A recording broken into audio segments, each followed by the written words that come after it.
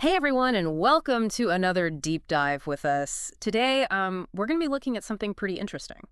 Yeah, it's uh, Tibet. it is Tibet. It's Tibet's unexpected role in global sustainability. Yeah, you don't often hear those two things together, Tibet and sustainability. No, not really. But we're going to try to bring them together today. We're going to be looking at this article. It's called Uh, why Tibet's contributions to Sustainable Development Goals (SDGs) make it the ideal location for Tatanka. Okay, so that's the title of the article. Published on December 1st, 2024, on tatanka.site. Tatanka.site. Okay, so first of all, what is Tatanka? So Tatanka is an organization that is using AI and human talent to advance sustainability and inclusivity. Okay, so right away we're seeing this interesting juxtaposition. We've got Tibet. We often think about, you know, monks and spirituality and mountains. Right, yeah, sort of isolated. Isolation, very traditional ancient culture. Mhm. And then we've got AI, cutting edge technology. What is the connection? That's what we're going to try to figure out today. Hmm, yeah, and the article makes the case that Tibet's traditional practices combined with Tatanka's technological innovations can really advance global sustainability. Okay, let's jump into it.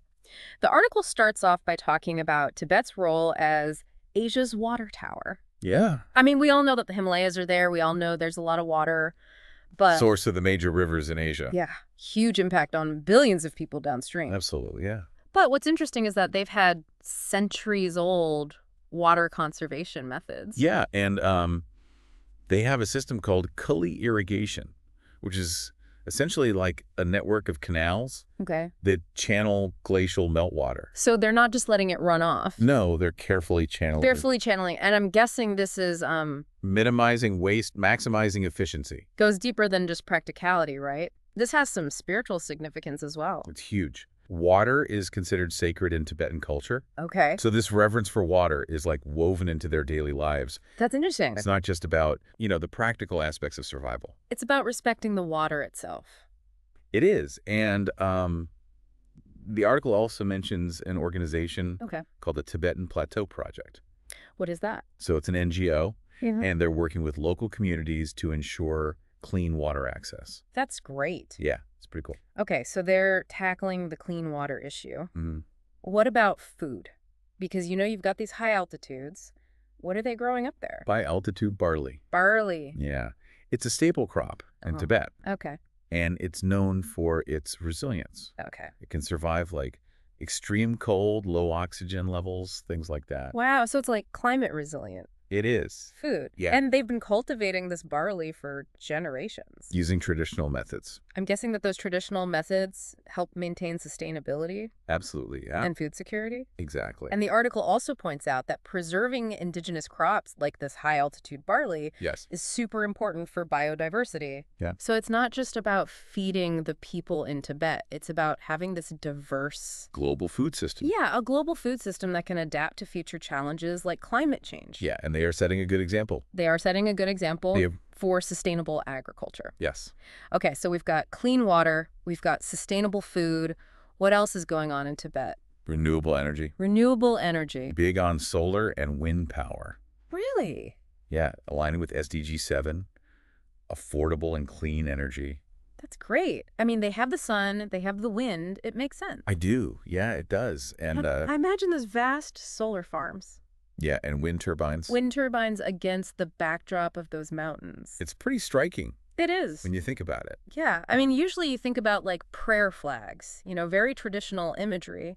And now we're picturing these big wind turbines. Yeah, and solar farms. Solar farms. It's pretty cool. That is cool. And they're not just doing large-scale projects. They're also doing small-scale solutions for remote villages. Like what? Things like solar cookers and micro hydro plants. Wow. Yeah, Okay, so it's a mix of. Yeah. big and Yeah. small. Ancient wisdom and modern technology. I like it. Yeah. Okay, now let's talk about education. Okay. The article mentions that Tibetan schools are blending traditional knowledge with modern curricula. That's right. So it's not just about, you know, textbooks and technology. It's about teaching the next generation about their heritage Yeah, passing down that knowledge. and connecting it to the world around them. It's very holistic. It is.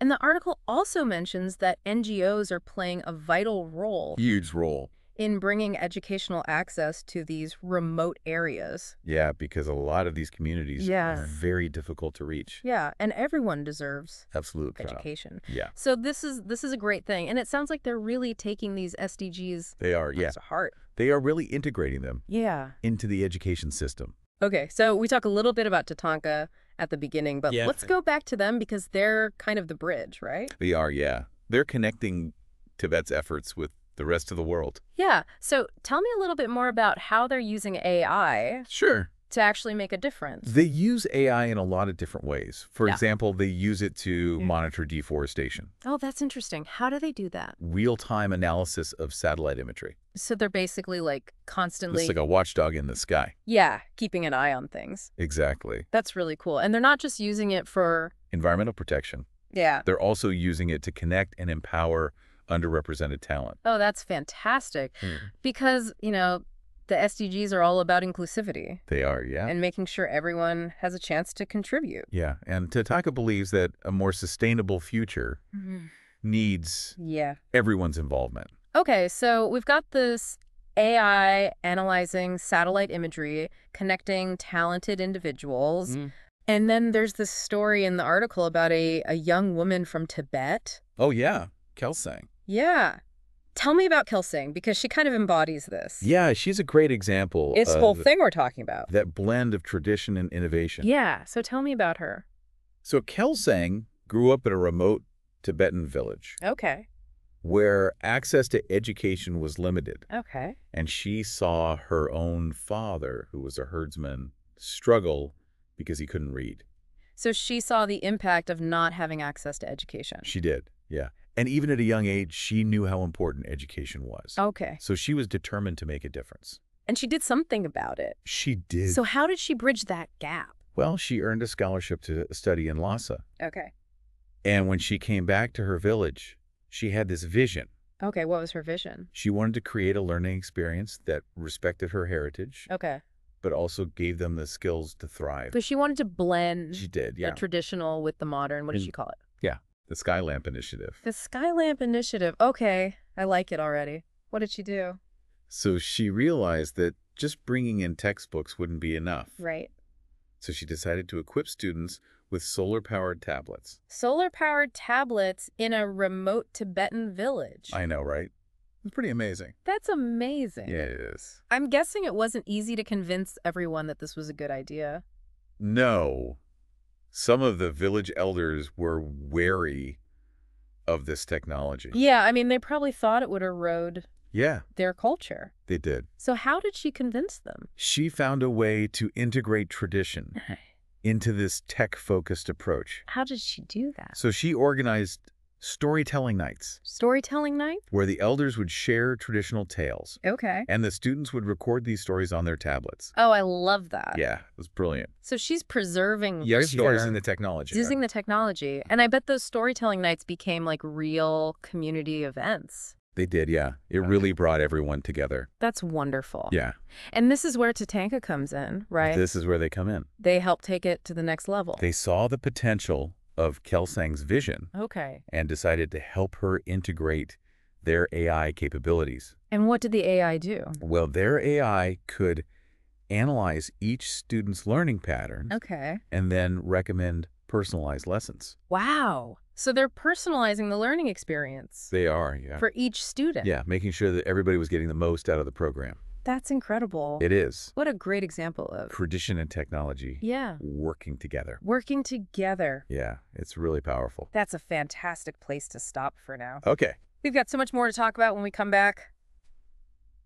And we're back. We were just talking about Kelsang and the Skylamp Initiative. Yeah, an amazing project. Incredible. Yeah. It really seems to show how Tatanka works. It does. Yeah. They're not just developing AI solutions, you know, in isolation. They really get involved in the communities. Yeah, they're very hands-on. They try to understand the specific needs and challenges. So they really prioritize inclusivity, Yeah, and empowering those voices that are often unheard. which aligns perfectly with Yeah. the SDGs, Yeah. those Sustainable Development Goals. Absolutely.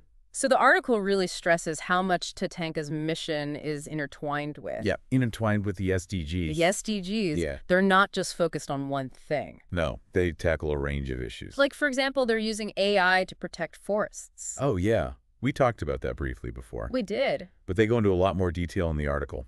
Okay, what kind of detail? Well, it's not just about, you know, spotting illegal logging. Right. It's about really understanding the factors that contribute to deforestation. The underlying causes. Yeah, the root causes.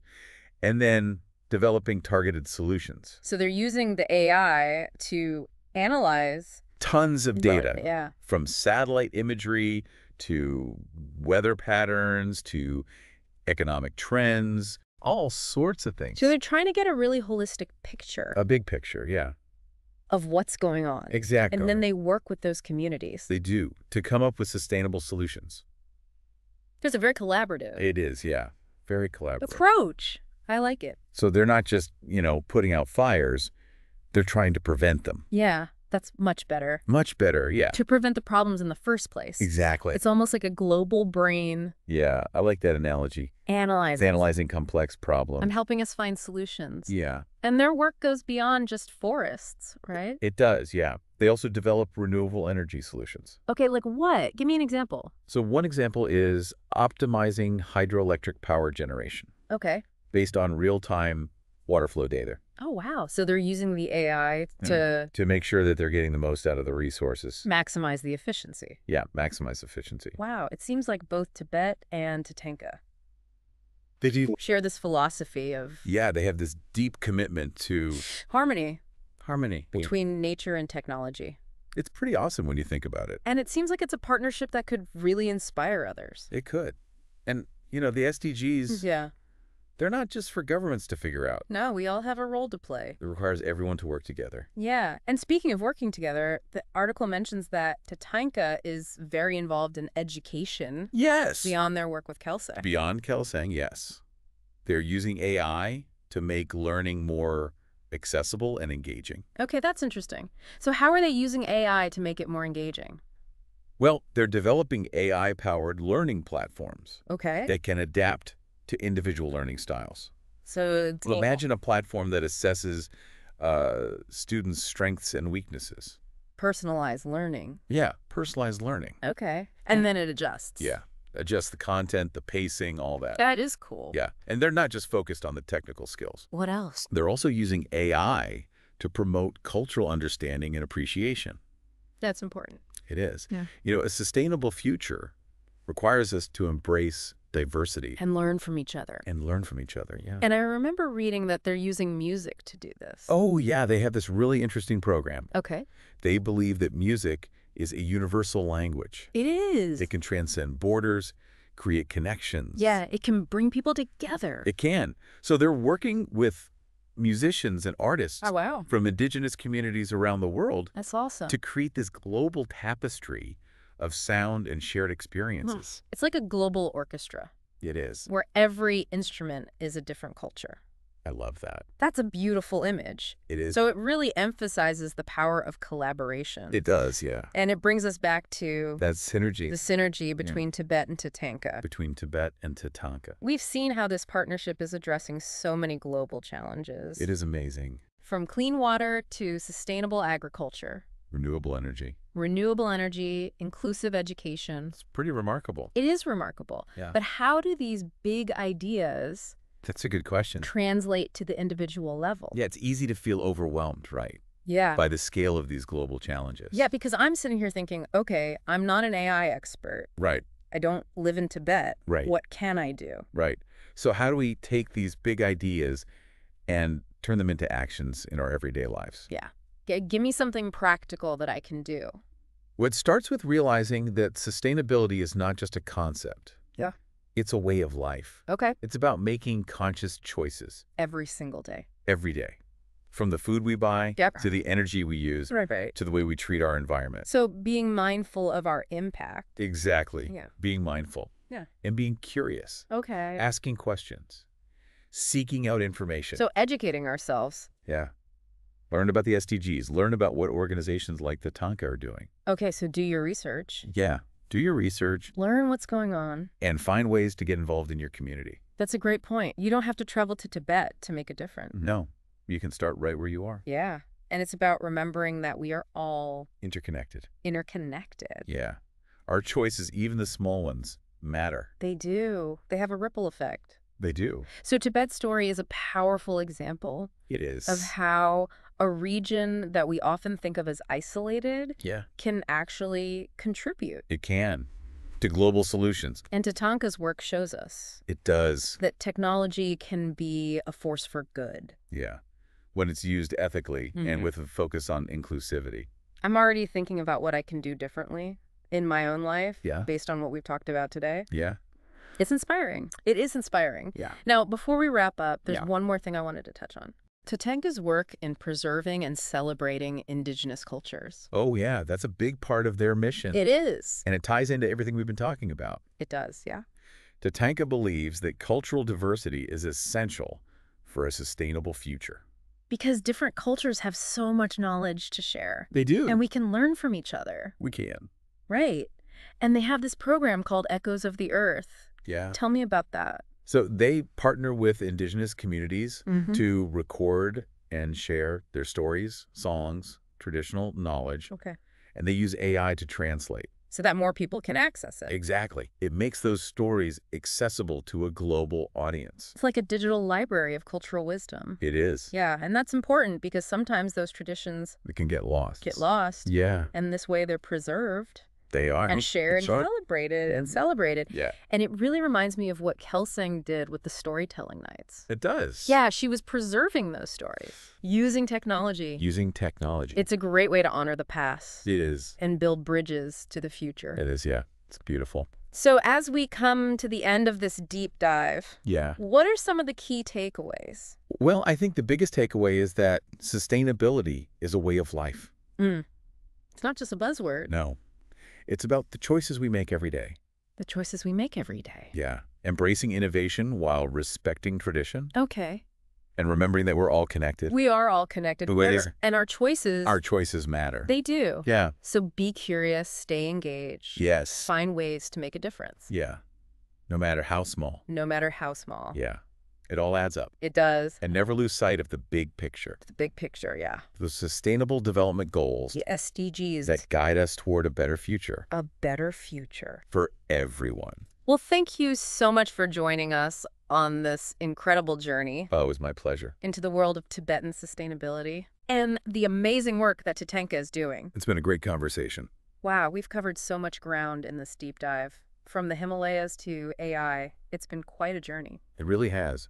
And I think what's struck me most is how Tibet, often seen as this remote and isolated place, is actually at the forefront of global sustainability. Right. Their ancient traditions and practices, their deep connection to nature, it's all incredibly relevant to the challenges we face today. It's like they've been living sustainably for centuries without even calling it that. Mm.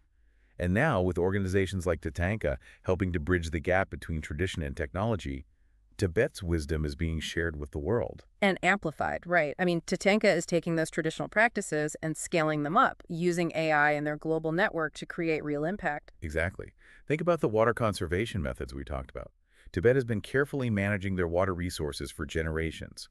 Now imagine those principles being applied to water management projects around the world, with AI helping to optimize efficiency and ensure equitable distribution. It's like taking ancient wisdom and giving it a technological boost.